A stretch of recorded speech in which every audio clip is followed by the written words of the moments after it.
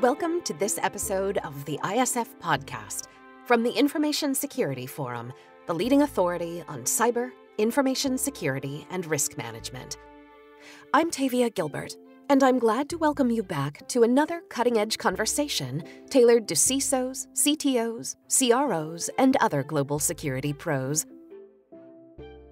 In every episode of ISF's media, CEO Steve Durbin speaks with rule breakers, collaborators, culture builders, and business creatives who manage their enterprises with vision, transparency, authenticity, and integrity. And he brings that conversation to you, your teams, and your partners. Today, we bring you the podcast version of a video Steve recorded with Dame Inga Beale, the former CEO and the first female CEO of Lloyds of London. In today's conversation, Steve and Dame Inga discuss the role that listening played when she assumed leadership of Lloyd's, the courage and effectiveness of simplicity in communication, a new style of leadership built on trust, career advice for both board members and security professionals relatively new to the industry, and more. Inga, it's very nice to see you. Thanks for taking the time to talk to me. You are the first female CEO at Lloyds of London, the first in its 328 years history. Tell us a little bit about that. What were the challenges of taking on that kind of position? I mean, it sounds, well, for most people watching, I think that's a real tall order. Well, Lloyd's is a very unique place, and it has a very special part to play in British history, if you like, having been around for so long.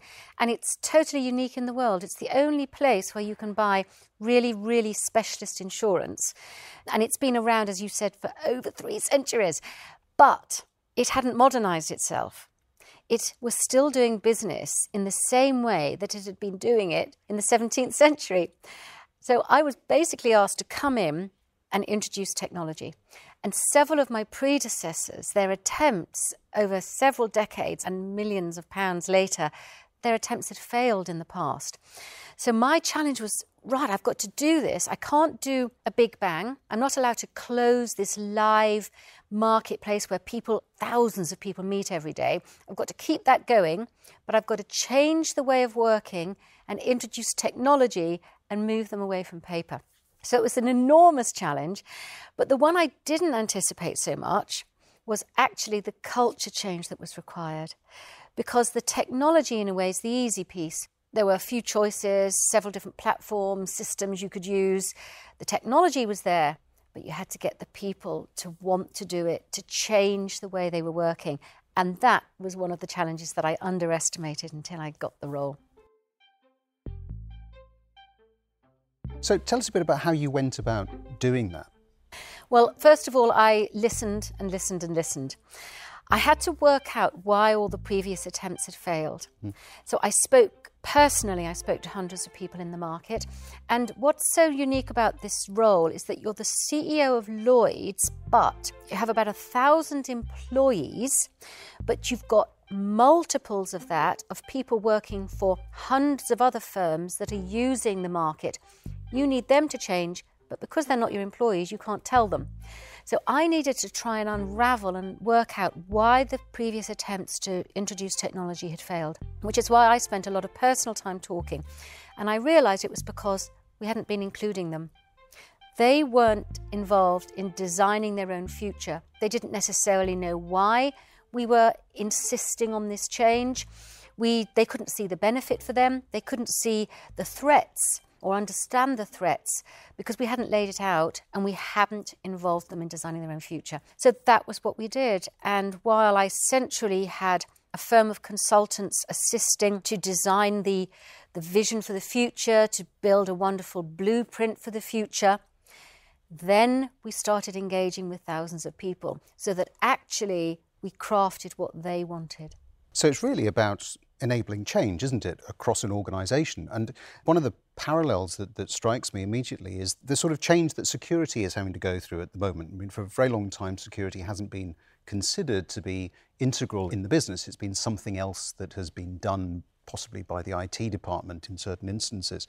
And I think perhaps a number of people listening to this will be wondering, well, you know, are there any tips that we can take from what you did in that organisation across into the security environment around sort of culture change, around innovation, about engagement of people in the overall process. What advice would you give for security or indeed business leaders who want to enable fairly large scale change programs post pandemic, hopefully post pandemic, um, for however long it goes on, and certainly in the midst of recession, because that's the other big thing that's coming, isn't it? Yeah, and I mean, leaders today, it's such a complex world, and there are so many threats, so many challenges out there. You know, it's difficult to know which direction to go in sometimes. But fundamentally, in my view, this is all about getting the right voices around the table. Now, when I started at Lloyd's, I realised that there had been quite a few silos built up.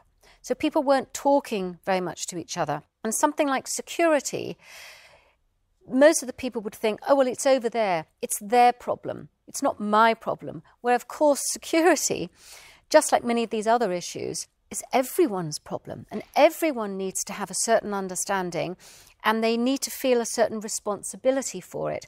So, breaking down those silos is a big part of getting a change program to be successful. And the way we did it was that we got people talking to each other. Right. So, we forced interaction amongst groups of people who wouldn't necessarily talk to each other.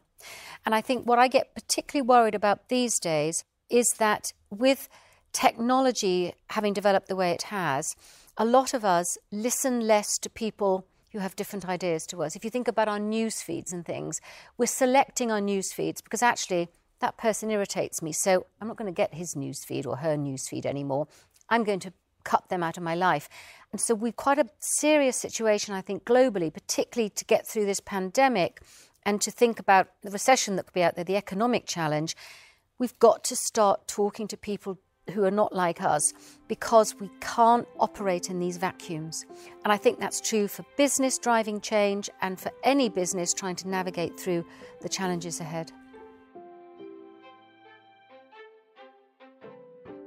I think one of the questions I'm very often asked in the work that I do with boards and with senior security leaders is how do we become more effective at gaining the attention of the people that matter? And when they say that, they're typically talking about the chief executive, the board of directors, because it all starts from the top. That's where the mood of the organization, the culture of the organization is set. And I think that for a long while, security people have struggled to speak the right language, if I could put it that way, and to get the message across. How can they be more effective? What are the sorts of tips that you would offer to them? Anyone who's got a deep expertise can sometimes struggle to get their message communicated to somebody who's not got that same level of expertise. You know, I worked in the world of insurance for 38 years and we had many very, very specialist people. And actuaries are famous for this. They do all the statistics and maths and they calculate everything.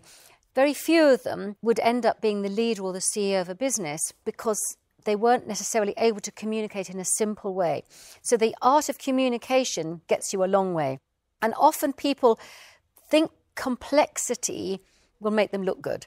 So they'll build a complex message. They'll almost want to show how good or smart or intelligent they are. Whereas actually, it's the simplification of that message and it's showing how simple things can be that to me has been the reason why we managed to make our transformation successful and get the attention of the CEOs in the market because we didn't use this complicated language. We actually made it as simple as possible, partly because you've got to keep repeating it. Mm-hmm. And if you make it too complex, people, you know, they roll their eyes, they you know, you can't keep their attention. And I think you've got to get a nice simple message. You've got to show that you're listening. And I've been in many boardrooms now, board meetings. I've been actually one of the executives presenting to the board. I've been a member of the board as a non executive, listening to the executives present. And often there's a breakdown in that communication, literally in a meeting. And that can be a physical meeting or now, obviously, usually virtual, mm-hmm. because the board member will ask a question, and often the executive gets defensive because they think actually it's a sort of attack or a doubt on their ability, and very often it isn't. Actually, the board member just wants to understand and trusts the executives generally and wants the reassurance from the executive that you've actually got things under control. But don't bamboozle with lots of scientific facts. Keep the message simple and in a language that they will understand.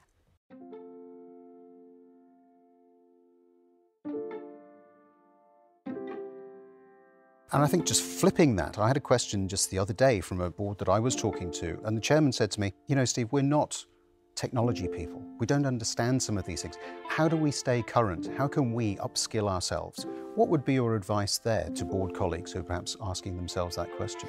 Well, I would definitely not go and start reading very technical papers and publications and things. I really wouldn't.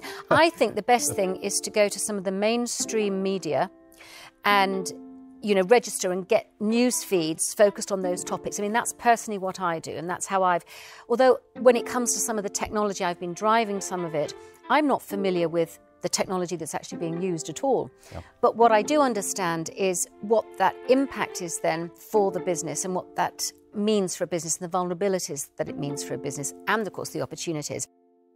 But I tend to go for the more mainstream media, I mean, usually pretty well respected media, mm-hmm but that then translates it for you into normal business speak. And that's what I find is the best, unless you want to become somebody who's very tech fluent.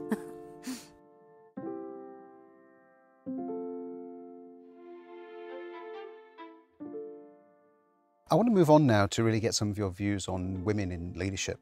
And I want to do that within the context of the security industry in particular, because that is one where we talk all the time about having significant skill shortages. And yet, if we look at the proportion of the profession that are women, it's very, very small. And so it seems to me as if we're missing a bit of an opportunity there, not just in terms of the diversity of thinking and approaches and so on. But do you have any thoughts on how we might address that? I mean, I do see parallels again between the security industry and the insurance industry, of course. We've struggled enormously in the insurance industry. I don't have the one lovely answer that everyone wants. I've been struggling with this for a long time, and I think it's got to be a multiple approach. But one thing is that image of the sector. And first of all, you've got to get people to want to sort of come up through education and everything and get involved. But that image of what it's like to work in that sector is so important. And when you haven't got pretty picture of women sitting along. I don't mean I don't mean that in a sexist way, but I mean a picture that shows a good picture of diversity. Mm-hmm. Women are going to look at that and say, "Why do I want to go there?" And then even if you've managed to persuade them to come in the door, once they're in that environment, if it's not conducive to having women around, if the conversation is exclusive, I mean, in, in, other words, they don't feel that they can join in the conversations. The language used sometimes can be regarded as sexist for a woman, and maybe a man doesn't think so. These are very, very tough things to do, but you've got to work on that image. You've got to forcibly go out and try and get different people on board. When we went out, we knew that we didn't have digitally savvy people wanting to join insurance because they mm. didn't see it as sexy enough or interesting enough. So we had to show that we were actually a dynamic, fast moving sector. A lot of it was about communication, but we got young people telling the message instead of the usual old grey haired people telling the message. So, for instance, I would use a lot of the younger generation to go out and talk at schools, colleges, trade fairs, just to get a different generation out there. I even tapped into reverse mentoring. So I got some people who they might have been in their first six months of an apprenticeship, they might have been in their first five years of work, but they mentored me and I learned a lot from them. One of them even said, Do you know the job adverts that go out? No one of my generation is going to want to join it's so dry and so dull. So we change things like the wording in our job ads. Mm-hmm. You know, all these things, if you get other people involved in that conversation and listen to them, it's amazing what you can do and how you can appeal to a different group of people. So, what advice would you give for women or others, perhaps younger people that you were just talking about, who do see security as being a little bit dusty, a little bit old, maybe, and not that exciting? What advice would you give as to how they could really explore it a little bit more before committing? Well, I think hearing some real people talk, right. because often when you don't know people who work in that sector, it's quite difficult to gauge what the personalities are like. You know, you might think they're of a certain type of person. And I'm sure, the, I mean, because you've got a lot of people working in this sector, I'm sure you must have videos out there, things that people can read, getting to know people. Because one of the things that I discovered, and it was one of my reverse mentors who told me, they said, We want to know you. You're the CEO, but we want to know you as a person. It's no good. You know, we know your status, your authority, we know this. We want to know you as a person. Which is why they got me onto starting to use social media. Mm-hmm. They said, We've got to use Instagram, you know, so I say, yeah, okay. And then Snapchat. actually, I really didn't get on with Snapchat, but I did try to, and I tried to show myself as a human, try to show my personality, because that's what this generation want, the new generation that you need to encourage to come into the security sector. They need to see you as humans and people that they can identify and relate to. And it's all about getting those stories out and being as human as possible. That's quite tricky, though, isn't it? I mean, if you take a lot of leaders today, they're of, of a certain age, if I put it that way. And what you're suggesting is that these people open themselves up to a huge amount of what might be perceived as vulnerability because mm. they have to share, and they're not used to doing that. What advice would you give them? I mean, is there benefit to it that you could really sort of point to that sort of says, well, you know, take this leap of faith and you will see X, Y, Z happen? Or how do we encourage it? There is a definite move, I think, towards a different type of leader. And it's almost the power of the people saying, we don't trust you unless we know that you're not perfect, you're not invincible. Mm-hmm. Because so much corporate blah blah has been you know, it's the usual way. We all have wonderful corporate communications departments, and of course we need them, and we need to control communication to a certain extent. But it's so sort of sanitized and manufactured, and people can see through that and they're fed up with it. So leaders need to understand that these days, actually, you are much more likely to get trust, loyalty, followers if you show some vulnerability. And as the CEO, it can be very difficult sometimes to admit you got something wrong it can be very difficult to admit you're anxious about something. But if you come out and declare that, you usually see huge benefits. Mm-hmm. People like it. They want to see you as being really authentic and genuine. And to show that vulnerability can be a wonderful leadership trait these days. And I, I, don't know, it probably has changed over the years. I don't think years ago I would have wanted my CEO to show that vulnerability. But now I enjoy showing my vulnerability and the response so that that sort of feeling you get back from your employees is tremendous and therefore a huge business benefit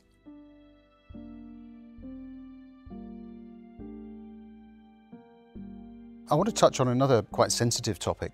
And security is a very high stress profession, it has highs and lows, places enormous strains on mental health. But it isn't something that we tend to talk about we tend to sort of brush it away. I suppose it's still a sort of harping back to, well, you know, just work through it and everything will be okay. But again, I see similarities with the insurance sector from that point of view. Any views on how to deal with that mental health issue, particularly at the moment, I think, during pandemic, where people are working remotely, they could be on their own for weeks, months on end, just looking down a webcam. So any insights you've got on that and views? Yeah, and mental health is really a serious issue. It keeps many people away from work and huge, for some people, stigma attached to it still. An unwillingness to talk about it, a fear that if you show any sign of weakness in the work environment, that this will come back to bite you somehow. What we did in the insurance sector, we launched a diversity and inclusion festival. We launched it in 2015. It's called Dive In, Dive In Festival, and it was just in London in the first year. And we were talking about gender equality, we were talking about race topics. We weren't really talking that much about mental health then. But the next year, we realised mental health had to be on the agenda. And it's now global, this festival. It runs every year. We've got thousands of people in loads of countries around the world, countries where you wouldn't even have imagined. This year we were talking about gender equality in Nigeria and things like that. It's quite incredible. But when we said we've got to get onto this mental health topic, we actively sought out somebody who was willing to record a little video and talk about their experience of when they tried to kill themselves. Nobody at work knew about this before. Mm-hmm. We got them to record it. That was the most watched video had the most likes, the most support out of almost everything that year. But still, it's difficult to get people to talk about it. On International Men's Day, we realised that it often is affecting men more. So men feel perhaps a little more reluctant than women to talk about these things. So on International Men's Day, we got a rugby player to come in. We held a session on mental health for men. Rugby player kicks it off. We thought we'll get an audience of nearly all men because we've got him there. Audience was still 60% women at a, a special event for men talking about mental health on International Men's Day. So I know how difficult it can be to get people to even come to sessions to listen to experiences and talk about it. And that's when you can have the benefit of allies. Mm-hmm. So allies, people who people can buddy with and feel comfortable with, and you know that whole allyship. Have employee resource groups focused particularly on mental health. I mean, that's what we had. We had an employee resource group that was looking at mental health. They had lots of sessions. They had lots of conversations. You've just got to get people feeling comfortable and having conversations that they don't necessarily feel comfortable about. And of course, there can be no, absolutely no repercussions. Hmm. The employer all the leaders have to understand that this is an important topic and that people can get through it just like any other illness. I think one of the things that I struggle with at the moment in listening to you and, and, also thinking about how you know I go about trying to implement some of those things across my business is a lot of what you've mentioned is enabled by people getting together physically. And of course we can't do that at the moment. So many people are having to work away from each other. Um, what are the sorts of things that we might be able to do to do a better job of perhaps enabling some of that environment, even though it's remote?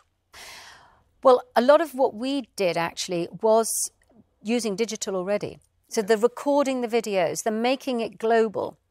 Our Dive In Festival was happening in so many countries. We didn't want it to be exclusive to a certain country. So, way before the pandemic came and limited social contact, we were already wanting to make sure it was as inclusive as possible. And therefore, we had things online, we streamed things, we had things happening online.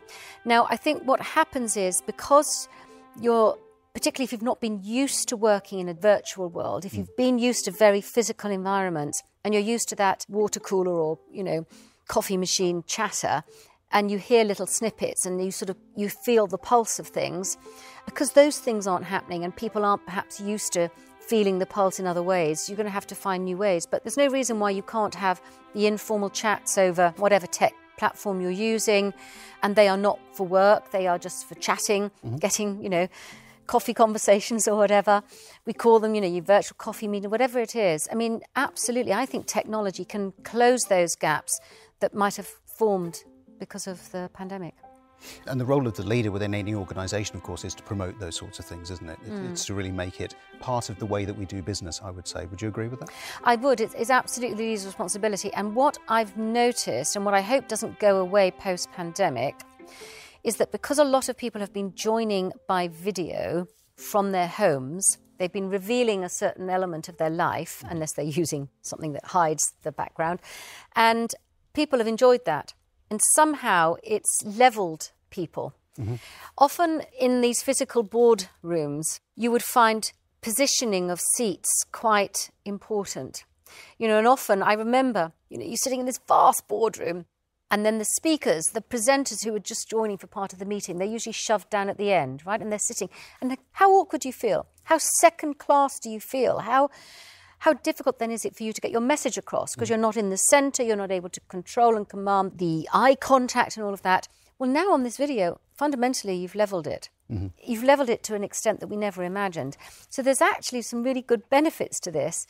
But leaders should play their part in encouraging others to continue to speak up. Still make sure, I mean, managing a diverse team for a start is much more difficult than managing an homogenous team. And it's up to you as a leader to shut up the people who keep talking, and to make sure the people who don't talk very much are pulled into the conversation. Now, that's been an art to management for a long, long time. It's not changed. And you can actually do it quite easily, or perhaps a little bit more easily now, on virtual platforms because you can shut people off and open up to others. Some really positive things to take away there from being shut up and working through pandemic. It's been an absolute pleasure, Dame Inga Thanks very much. Oh, pleasure. Thank you. I hope you've enjoyed this conversation with Dame Inga as much as I have, and that you are inspired to think about ways your own organization can make space for greater diversity, for deeper listening, for more courageous vulnerability, and for the growth that will follow if you do. In our next episode, Steve speaks with Kate Montague, actress, voice coach, leadership consultant, and expert in core energetics or body led psychotherapy. Kate discusses the effectiveness in taking time to reset. What happens when you stay connected to your body and your breath, and how to take the temperature of the room when the rooms are remote. Here's a preview of Kate Montague. Business is such that we can externalize only. we we get busy with other people. We get lost in the back to back meetings. We lose our creative response. This will happen. We're human and we can get triggered and we go into survival mode. So we're controlling or we're gripping or we're forcing or we're blaming and you know criticizing and so on. So as you say, taking that space, it's similar to coming off the court in Wimbledon. You wouldn't expect the players to keep bashing it out. Those golden moments that they take to sit out, catch their breath, you know, need to come back to a deep breath more deeply than normal to feel the sensations of the body. We look forward to bringing you the full conversation. In the meantime, we invite you to tune into our catalog of video and podcast episodes, all of which you can find at securityforum.org. If you feel like today's conversation was of value, you can subscribe to the audio feed wherever you get your podcasts, and we'd be so grateful if you'd recommend us. Growing our subscriber numbers helps us reach new audiences and helps us continue to bring you these timely discussions. You can always join in the conversation on our LinkedIn page at linkedin.com forward slash company forward slash information dash security dash forum, or get in touch directly through our website where you can also download ISF's research, practical tools, and guidance related to discussions like these. The ISF podcast is produced by Talkbox and Tavia Gilbert. Music by Alexander Filipiak. Assistant producer Katie Flood. Mix and master by Brian Barney. Thanks for listening.